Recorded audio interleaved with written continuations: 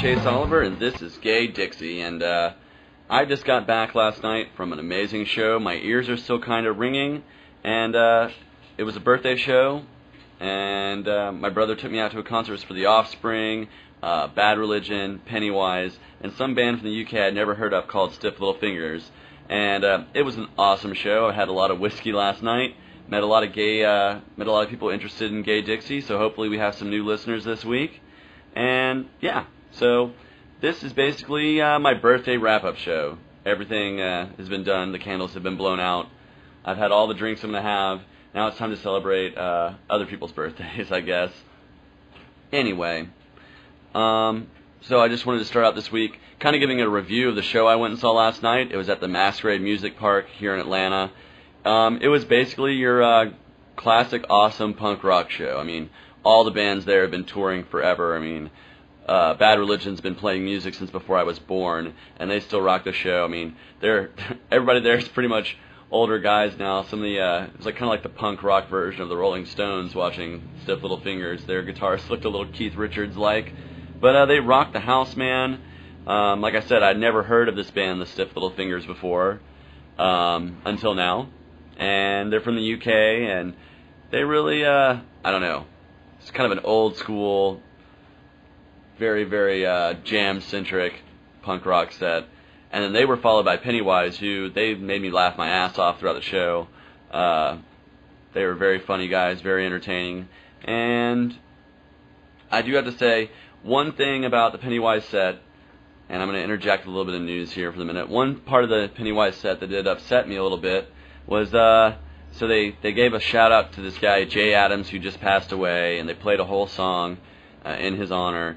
And I frankly I had to turn my back to that whole song because um, you know, if you haven't heard of Jay Adams, he was a he's a skateboarding icon. He's one of the uh, Dogtown Z Boys. You know, he was made famous, uh, well, famous to a whole new generation through that documentary, and then they made the movie Lords of Dogtown, and uh, he was portrayed by Emile Hirsch, one of my favorite actors. And so this guy, uh, Jay Adams, he passed away from a heart attack recently, and um, so the skateboarding community's been all idolizing him and talking about how legendary he is. And I read a Vice.com article that really made me think about it, and I didn't even know this, but uh, the name of the article is "Maybe We Shouldn't Be So Quick to Idolize a Gay Bashing Skateboarder." And I'm going to give credit where credit's due. This article is by Jonathan Smith over at Vice, and uh, he basically talked about how while this guy defined skateboarding what it is today and kind of made uh, made skateboarding more household, you know, more known. He he kind of took it from being almost like dancing and ballerina like, you know, according to the article, he says he kind of made it more aggressive and the skateboarding we know today. And so, you know, we can all appreciate somebody who contributed to an art form or to a sport and made it what it is, but you also have to look at the personal background of this guy. And Jay Adams was uh, implicated, and he was part of a 1982 gay bashing, you know, and uh, somebody died because of this. So he was basically part of a murder. Never really went to, uh, you know, he never was charged with murder. He was, uh, what is it? He served six months in prison for it. And so, um, I just think, for me, I just personally could not sit there and enjoy a song idolizing him because I think a lot of people, e- even in the punk rock community, probably don't know that about him. And for me, I just had to kind of take a stand there and turn my back to the concert for a minute and kind of zone out. Even though I enjoyed the whole rest of Pennywise's set and uh, you know their their show was great, I just think uh, maybe not everybody's so educated about Jay Adams. And I'm not saying it should affect his legacy in regards to skateboarding, but as a person, maybe we shouldn't be calling him a legend or someone we should look up to as as a person, you know. But uh, so aside from that, Pennywise was great, and then uh, on to the main event, which for me, uh, I love both Bad Religion and Offspring, and Bad Religion was just amazing to see. They rocked the house. You know, their their lead singer looks a little bit like uh, I was talking to one of my friends there, uh, and I said, you know, he looks a little bit like Dr. Drew from the from uh, Loveline and the celebrity rehab shows. He's kind of gotten older looking. The the hair's gray and it's not quite there anymore. But uh, they still know how to play their asses off. They still really how to get a mosh pit going, and uh, it was a blast. I crowd surfed a few times during Bad Religion. It was amazing. It was uh, almost religious, ironically, almost a religious experience. And then uh, came the headliners, The Offspring, who they were celebrating uh, the anniversary of their release of their like their album that put them on the map, uh, the album Smash. So they played pretty much that entire album, and and then a few other songs too. It was great. I mean, I I just said I've never seen them live. I'd seen Bad Religion in the past. I'd seen all these other bands other than you know the Stiff Little Fingers in the past. I'd never seen The Offspring, and it was a awesome, awesome show. And of course, by the time The Offspring hit the stage, I'd had so many birthday shots of whiskey because you know, it was my birthday, so people decided to buy me drinks, and I get up to the bar, and one of my friends is buying me a shot, and he said, you know, it's his birthday. And so naturally, two or three other people who were standing at the bar were like, oh, it's his birthday, well, let me buy him a shot too. So I was pretty hammered by the time the offspring hit the stage, but I still had a blast. I still went out there and mosh. I got stepped on a few times. Luckily, everybody, you know, luckily everybody observed the rules of the mosh pit road. You know, when you fall down, pick the guy back up, because otherwise I'd have been trampled by. Uh, there were a lot of there were a lot of big guys. You know, there was a guy who was wearing a kilt whose I swear to God his thighs were as big around as my head. I was like, oh, that's the guy I don't want to mosh with right now because he'll crush me. He looked like Big Van Vader from the WWE, and uh, so. so one of the things I wanted to talk about in regards to this concert, it's been a while since I've been to a show, and if you can't tell by my voice, I'm very, very like up right now. Like I'm super, super hyper and this is not even you know this is less than 24 hours later, and um, I was talking to my brother Butt Mullet about why I like going to rock shows and what makes rock and roll shows so cool and fun and and uh, of course there's the communal experience. You know, you're there with a thousand other people who like the same music as you and who dress the same as you and you maybe feel like they're different and you're different, so we're kind of a community. That's one of the things I love about rock and roll and punk rock in general, especially. And uh, but the other thing about it is, is like rock and roll. When I go to a show, I go out there and I mosh and I and I dance and I move, and it basically gets all of the negativity, man, like just right out of your body. Like it pushes it right out. It's like therapeutic. It is a religious experience, and it's the only thing. Uh, the way I told him to my brother was, rock and roll is the only place where when you go to a show, you dance around and thrash around, and you come back completely sweaty and disgusting, smelling of body odor, but you feel cleaner than you have in years. That's the feeling I get from going to a rock and roll show, and that's how you know a show is good.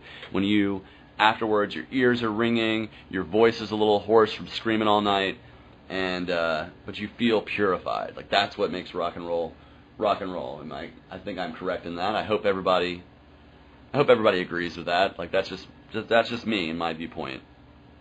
Um, so the other thing I did this week for my birthday is I had a nice, lovely barbecue at my house. I love to entertain, and so I had some friends over, and uh, my roommate, God bless him, he's uh, a lifesaver because he cooked all the food. Usually I do the cooking or help with the cooking at least, and uh, because I was working, he was nice enough to do it for me. So we had two lovely racks of ribs. They were amazing, like fall off the bone, cooked for hours and hours and hours. Yeah, there's pictures on my Facebook. If you if you're friends with me on Facebook, check them out. It, it'll make your mouth water just looking at them.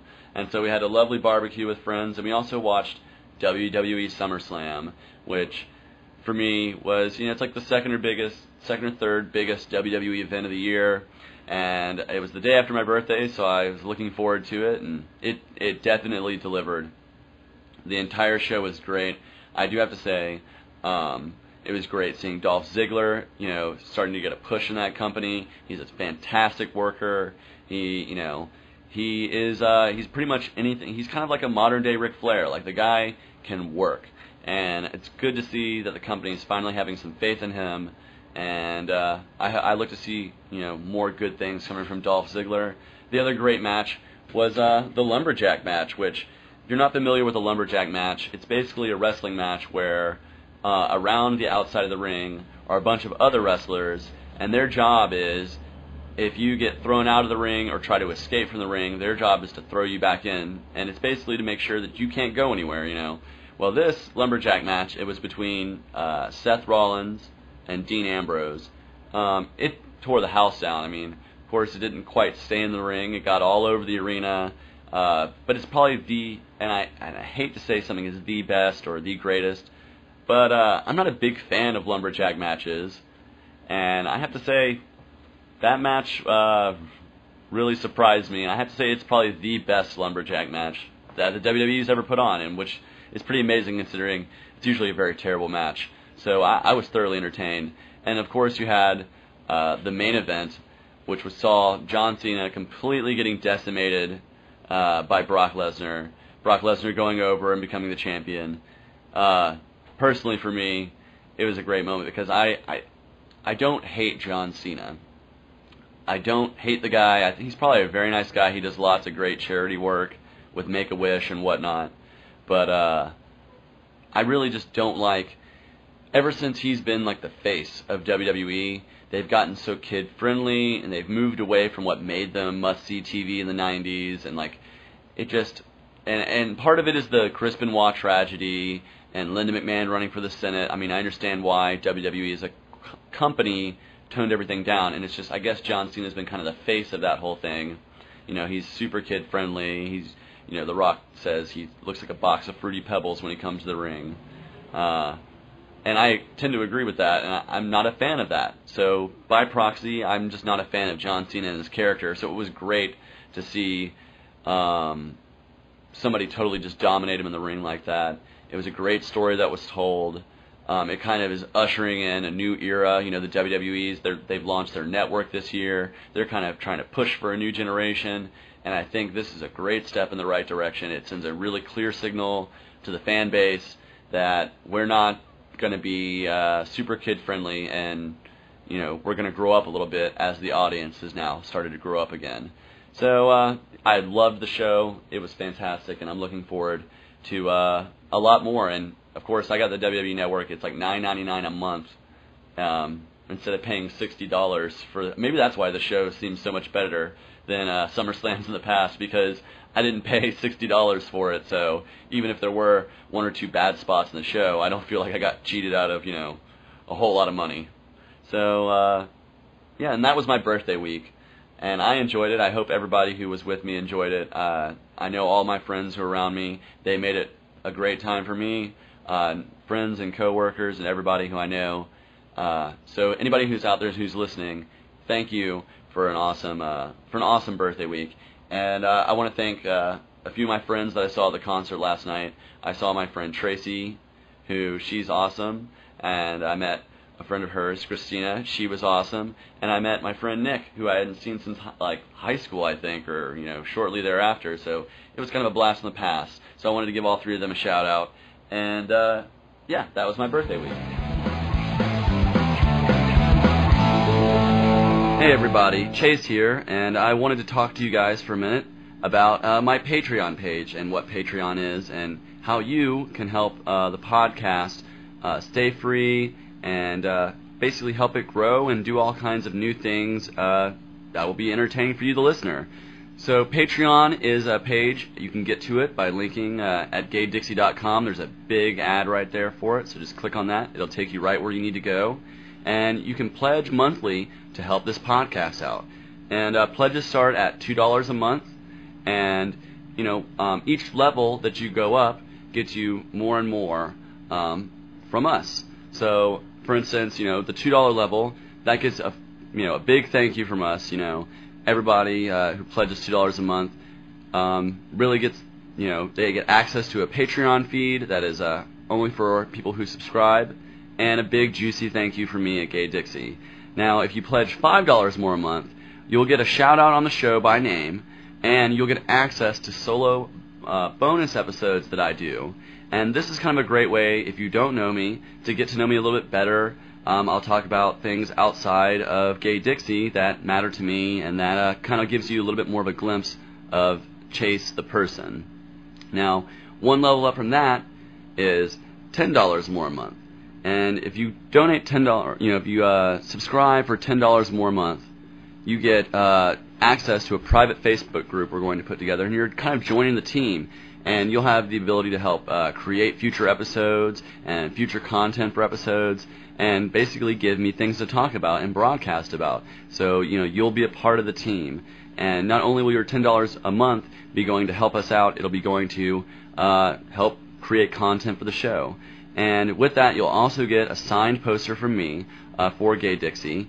It'll be have our logo on it right there, so you can put it on your wall. And uh, you'll be entered to win a quarterly prize pack from me, which will have all kinds of goodies that I find and decide to send to whoever wins. And on top of that, you'll also get access to special video content from GayDixie.com. Um, you know, whatever I happen to decide to film, I'll put out there for you, uh, the listener, to become you, the viewer. And uh, by the way, every level you go, you get what's on that level plus everything that's in the lower level. So the more you give, the more you get. Um, the next level up is $25 or more per month. You'll get a free T-shirt uh, or hat to be determined. We you know are going to put some merch together, and you'll be the one of the first people to get the merch because you're helping us uh, to create it. So you'll definitely definitely get it. It'll be something tangible you can have. Um, something else you'll get is a 15 minute personal Skype chat with me.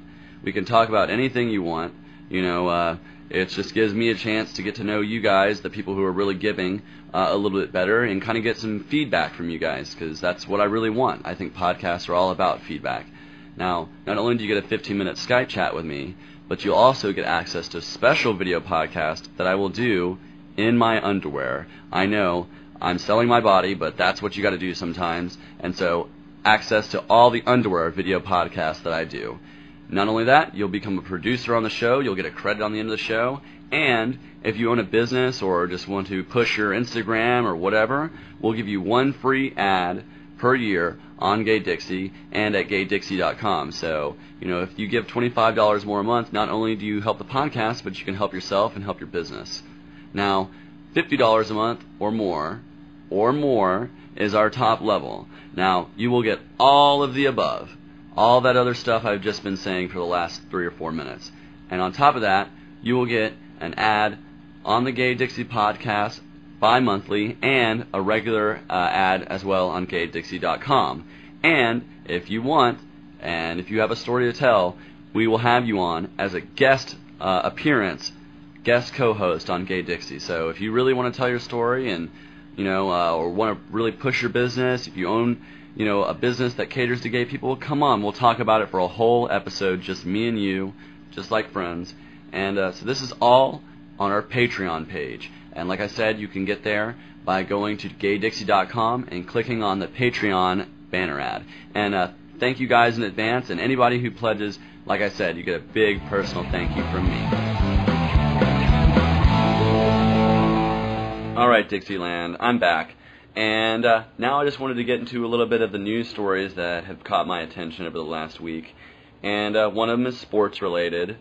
And uh, I don't know if uh, any of y'all know Chris Kluwe of the Minnesota Vikings. He was uh, he was a member of their team, and uh, he's a big supporter of gay rights. And he got fired from the team or let go from the team. And he said it was because he was so vocal about gay rights that the team let him go because he was too controversial I guess. And so, um, basically, they reached a settlement, him and the team. That's the news story that's broke this week.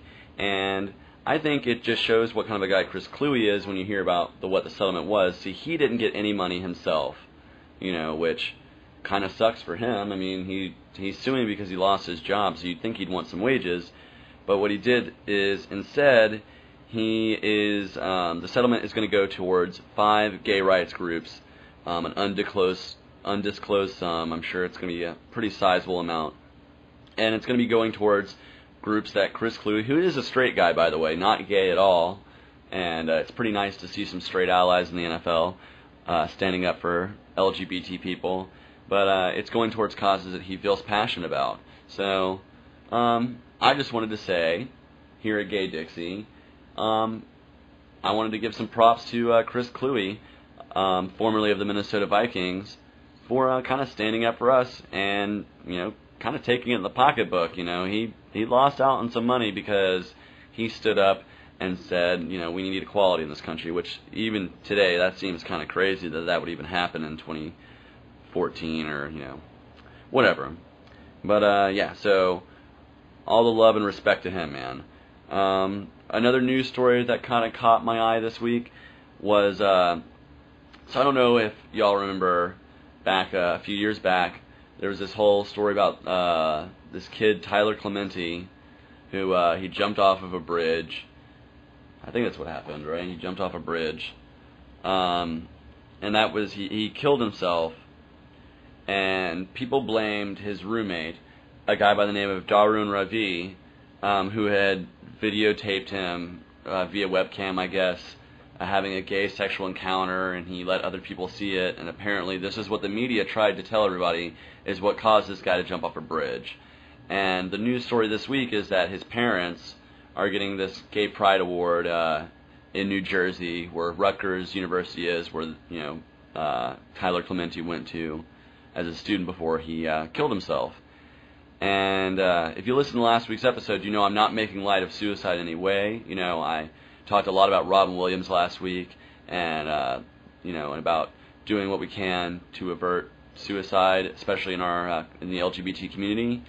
But I also feel like it's kind of I don't think the media is telling the full story when they try to make it seem like this one webcam type deal is what caused this uh, kid to kill himself.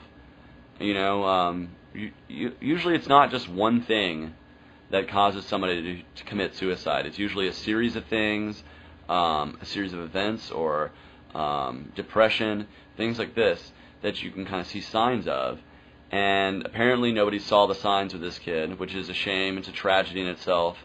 But uh, to first off, to blame this other student, uh, Mr. Ravi, you know, um, is kind of unfair. What he did was wrong. It was very rude and an invasion of privacy for sure. And I wouldn't be happy if he were my roommate. Um, that would have, you know, if I were 18 or 19, that would probably have really, really affected me back then. But not enough to jump off a bridge.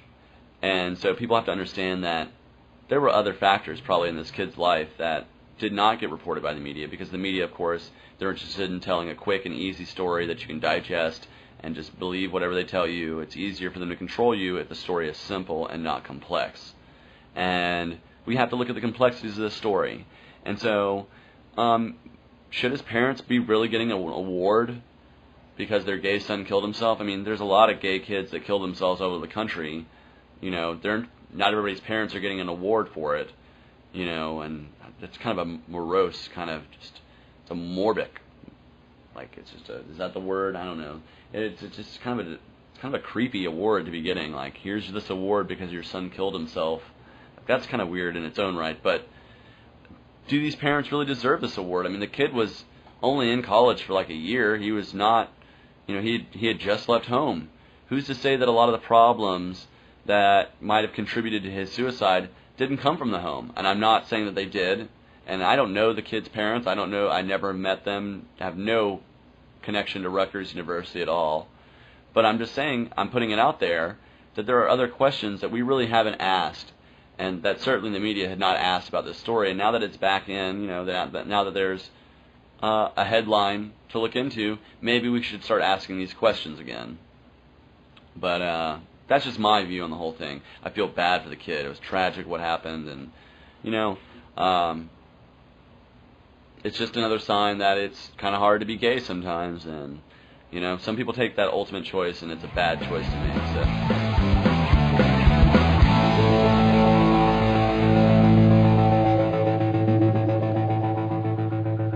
So, guys, just one thing I wanted to talk about before we go, and uh, this is a trailer I literally just saw minutes ago, and uh, it's for James Franco's new movie that just uh, it it premiered at Sundance, and uh, it'll hit theaters in a few days.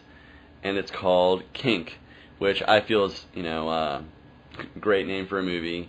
And it's kind of coming at the perfect time with Hollywood. You know, uh, Fifty Shades of Grey will be coming out pretty soon, and so. And of course, James Franco, he's always been pushing the sexual envelope. You know, he always loves to tease people with his sexuality and tease sexuality in general. If you haven't seen uh, his kind of it's I don't know if it's a documentary or what it really is. Uh, Interior Leather Bar. Uh, he's kind of gone down this realm a little bit before, and so this documentary is all about uh, the San Francisco Armory, which is like the house of Kink.com, which is like the world's largest BDSM website. And uh, I understand that's not really for everybody, and that's kind of the whole point. Um, but this documentary kind of just explores the people in the industry and the people, uh, not just the performers on screen, but the people behind the screen, and kind of examines um, what it is about BDSM that uh, turns so many people on, and also at the same time freaks so many people out. And it just, it does look like it's a pretty hard. Just judging from the trailer, I imagine uh, there will be a lot of squeamish people squirming in their seats when they watch this movie. And uh, I think it's really cool that James Franco is doing this because it kind of gives the movie the gravitas it needs. Because without a big name, it just kind of people will just write it off as smut or as like softcore porn or porn. But what it really is is it's an examination of what turns us on. And uh, I have a lot of friends in the kink community. You know, I've, I've tied people up. Not gonna lie, you know. But uh, I just think you know there's definitely different degrees to it, of course. But uh, yeah, so I just I think it's a really kind of a, it looks like a really cool. I have not seen the film, of course, but uh, judging by the trailer and what's been written about it, it seems like a really cool glimpse into that whole world that most of us might not necessarily know anything about. So that's what I always find interesting in a documentary. So it looks like a uh, sexy slash kind of painful in a good way kind of movie. So I encourage anybody to check it out if it hits your local theater. Uh, hopefully it'll hit one or two theaters down here in Atlanta. Um, otherwise, I'm gonna have to wait for Netflix, just like I did for Interior Leather Bar. Anyways, um, so that's kind of it for Gay Dixie this week. And uh, oh yes, one last thing, one final thing. Now this is just my little PSA to everybody out there, my little public service announcement. Um, election day is coming up in November, and I know early voting starts in October here in Georgia. And I'm just encouraging everybody who's out there listening right now who's not registered to vote, go ahead and get registered. Um, hopefully, you decide to vote in November. And if you do decide to vote, you need to go ahead and be registered. So go ahead and get registered now and uh, really look into you know who you want to vote for this November. I'm a libertarian. I know who I'll be voting for this November. But uh, get educated on your candidates and pick somebody because that's kind of your job, and it's the only way we're going to change things. So everybody, um, that's pretty much it for Gay Dixie this week. Um, this is Chase, and I hope you all have a Gay Dixie week.